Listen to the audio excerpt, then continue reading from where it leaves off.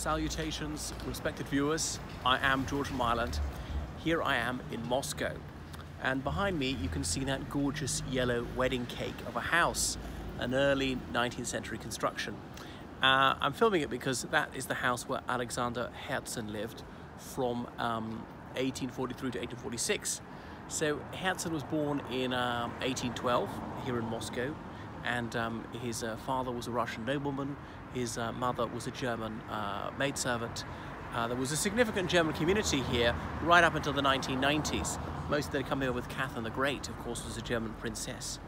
But um, anyway, so he's born outside of wedlock, which was a stigma at the time, um, and he was given that surname Herzen as in Herz in German. That wasn't the surname of either his mother or his father.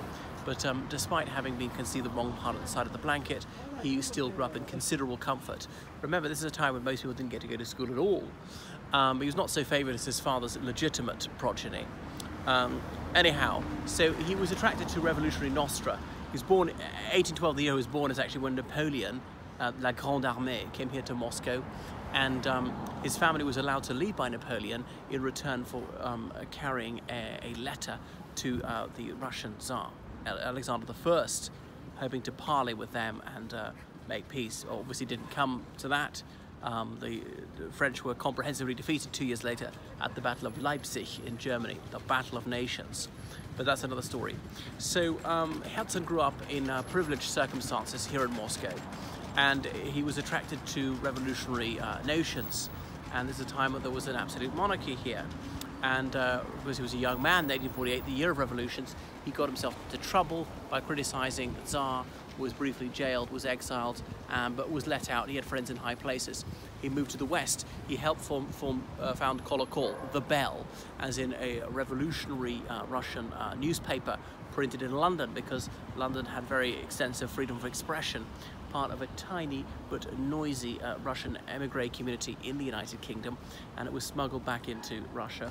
Obviously had almost no purchase in the popular mind, since not that many people could read. Very few copies got through. The um, Okhrana, that's uh, the uh, Secret Service, they managed to intercept many of them.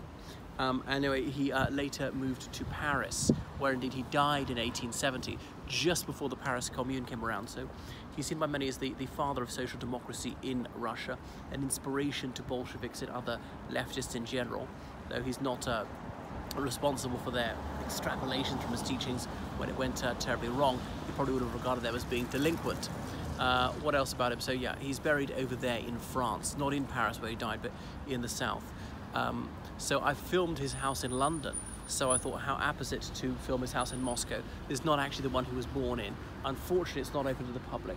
So here we are just behind Arbat, or Stary Arbat as it's sometimes known, perhaps the most celebrated pedestrian street in Moscow.